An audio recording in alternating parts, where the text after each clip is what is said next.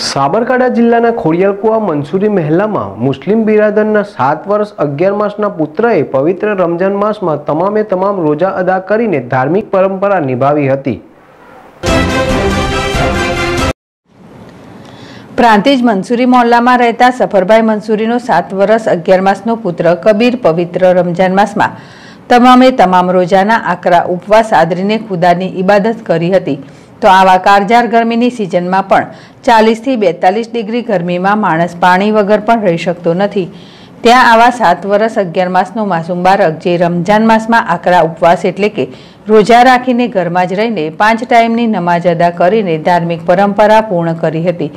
તો આટલી નાની ઉંમરે ઇસ્લામની સુરત કલમાં સારી રીતે બોલે છે. અમદાવાદ ખાતે ઇન્ટરનેશનલ ઇંગ્લિશ મીડિયમ સ્કૂલમાં અભ્યાસ કરે છે અને ધોરણ એકની એક્ઝામ આપી છે. તો કબીર ઇસ્લામ સિવાય પણ બીજા ક્ષેત્રમાં અનેક ટ્રોફી અને મેડલ મેળવીને પરિવાર અને સમાજનું નામ રોશન કર્યું છે. સંજય રાવળ, જેડેશ ટીવી, પ્રાંતિજ.